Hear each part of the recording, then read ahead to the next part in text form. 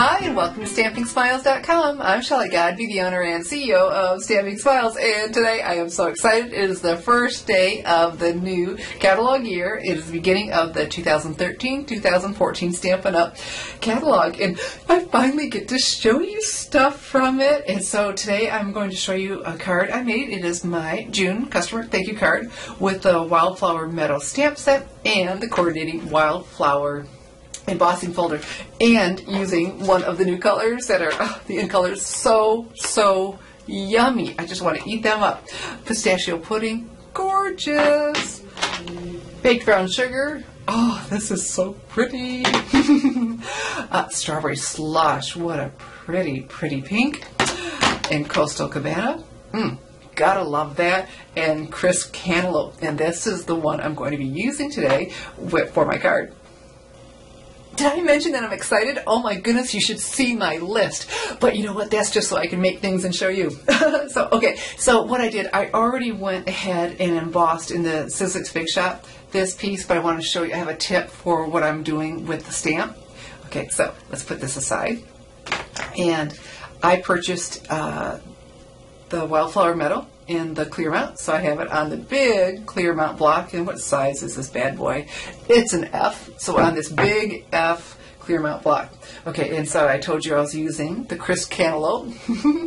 and, uh, you know, I keep calling these the new firm foam pads, but they've been out a year now. And so it's hard to keep calling them new.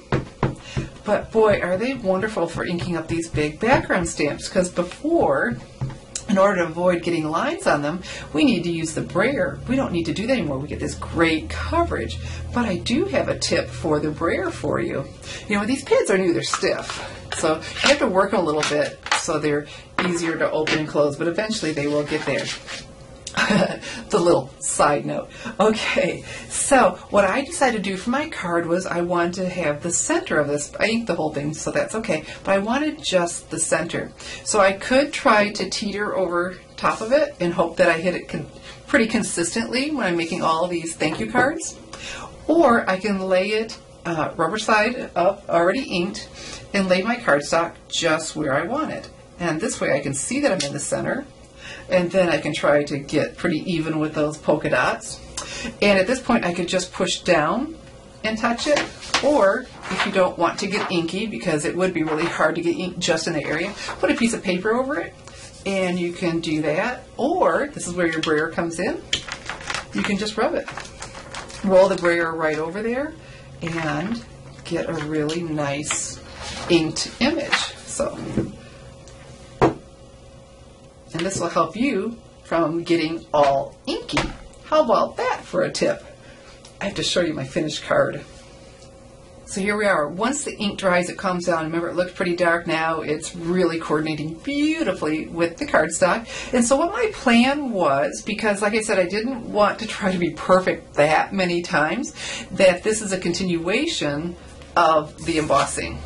And so that's why I was trying to get in the center and then layer it in the center. And didn't that turn out lovely? Uh, this is has Stampin' Dimensionals on. So if it's not perfect, that's okay. It just gives you that illusion. It reminds me of the paintings that you get where they take the picture and it goes into the matting, you have that little bit of separation. And so that's what that's like. Isn't that just stinking pretty? And oh my goodness, this is just so pretty. It's so hard to choose what color to do it in. Oh, pistachio pudding, gorgeous. I'm loving this baked brown sugar of course, you know, layered on uh, baked brown sugar wouldn't be something? It was so hard to pick, but this was just, this is what I went for. But I can't wait to show you too my little something something inside. This just, because I thought, what am I going to do? The Stampin' Write markers aren't out yet. How can I color just a flower, do my little something something? And so, how stinking cute is this? And I did the same thing with the envelope. I'm just feeling oh so clever. Okay, so let me show you what I did. I inked up my stamp.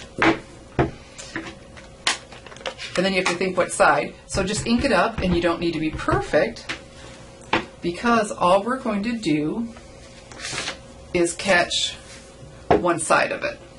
And so this you could do up, you know, the upside down thing, but um, I just went ahead and did this because we have that nice flat, you know, it stops right there So then we have that. How pretty is that? So my little something something inside and on my envelope. So here we go. Um, so excited. Ordering starts today at noon Mountain Time. Oh, it's hard to wait. And, uh, and, and so from the 2012, 2000, oh no, 2013, 2014 Stampin' Up! catalog, a whole new year. And then when you do place your order with me in June, this is the card you will get in your mailbox. It's just so lovely and, uh, and something you could easily do. And I love that. Okay, so just go to my online store. You can't hardly stand it, I know. Uh, www.shopwithshelly.com and place your order for all these new Stampin' Up! goodies that we've been waiting for. I'm Shelly Godby, teaching you how to create hand stamp smiles. Thanks for watching.